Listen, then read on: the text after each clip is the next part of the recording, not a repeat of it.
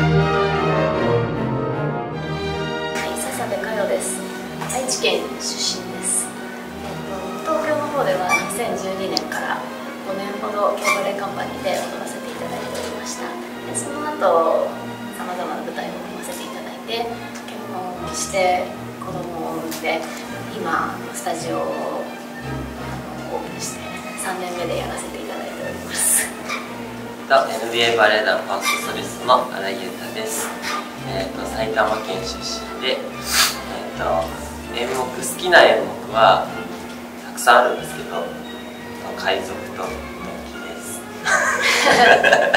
飛ぶことが大好きでパシソって言って回転しながら足開くのが僕の中で得意な技なのでぜひ見てもらえたら嬉しいです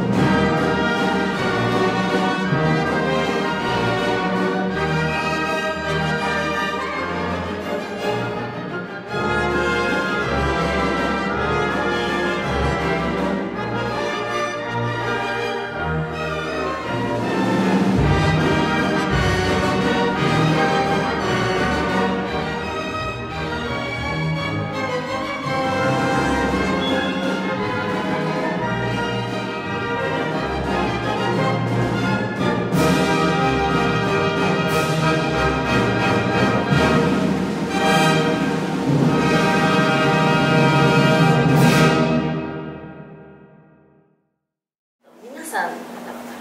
なあの一方的に知っているダンサーの方々や、まあ、ももちろんあの面識のあるダンサーもたくさんいるんですけれどもまたお会いできることや初めてお会いできることをすごい楽しみにしております。何でしたっ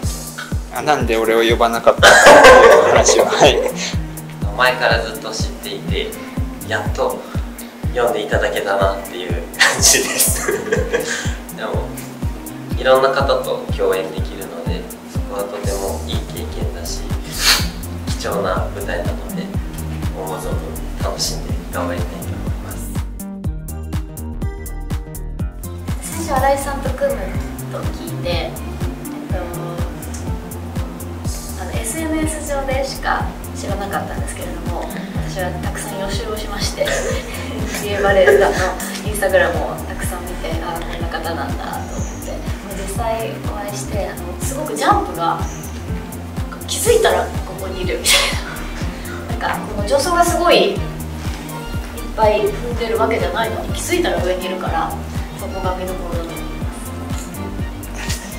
す得意の。得意だね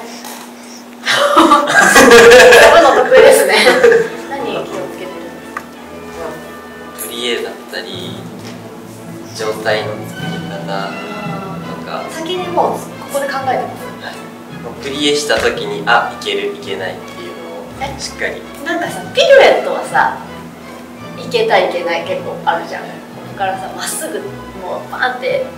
型にはまったらクッキーの型みたいにはまったらそのまま顔つけるだけだけどそれがはまんないとどう頑張った頑張ってもダメじゃん。でも飛ぶのでもあるんですか？僕は結構考えちゃう。あと一発目のジャンプって失敗あるんだ失敗あります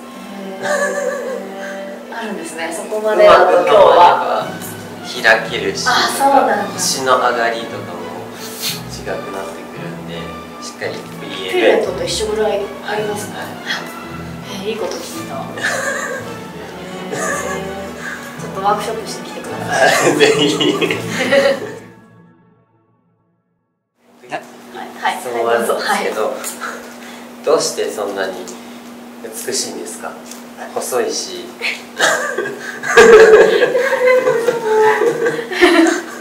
もう本当に悪あがき。全部毎日悪あがきで。えあと食事とかも？食事は全然私は割とまあちょっとこんなこと言ったらあれかもしれないけどちょっと痩せの大食いタイプで食べることが生きがいというかいつもドーナツ食べてるよみんなに言われるだけどあのやっぱり子育てと両立してるから全てをってなるとあの基本的にだとまあ仕事終わって家に帰ってはーっとはしないなんかしないとまあまあまあまあって、まあ、一人っ子だから恐竜で遊んだり戦ったりしてるとあのソファーに座らないかも。ご飯作ってってやってるとあんまり休憩する暇もなくエネルギーを消費してあーってできないよ。それで太る暇がない感じはあるかもしれない。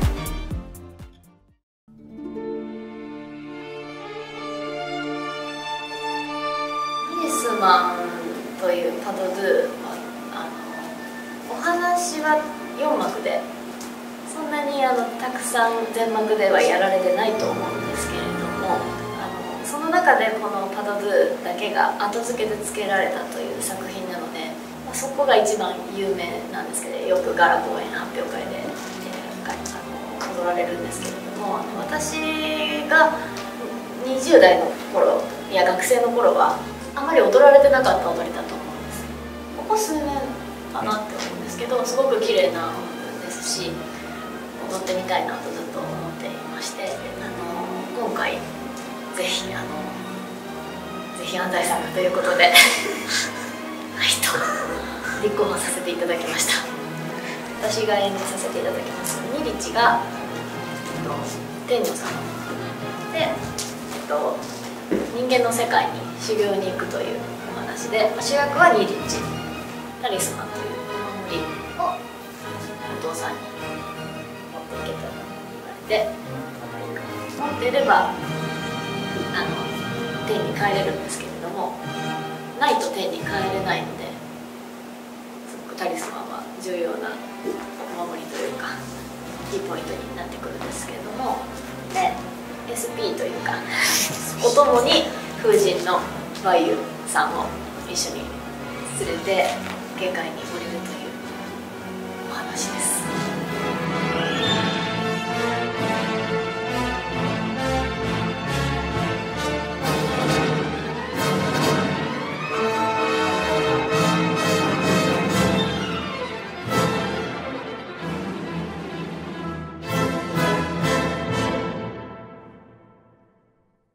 ぜひ見に来てください。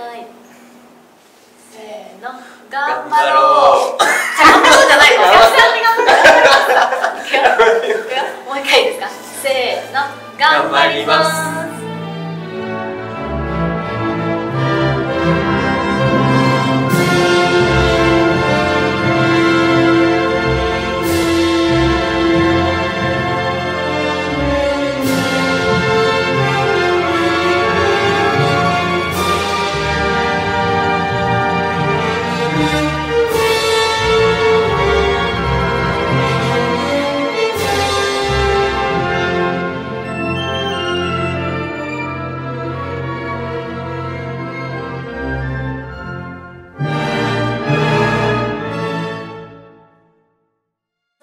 ドーナツ好きです。どうなんですか好きです。やっぱミスなド行ミスド好き？私もミスド好きなんだけどなんか家の近くにすごい美味しいドーナツ屋さんがあってでもなんかもう結構大きくて1個350円ぐらいするの一番安くて。だけどまあ好きだからよく買いに行くんだけどこの人いつも来てるなって思われるのがなんかなんか恥ずかしいプライドみたいなのがあってなんかもうすごい変装していってる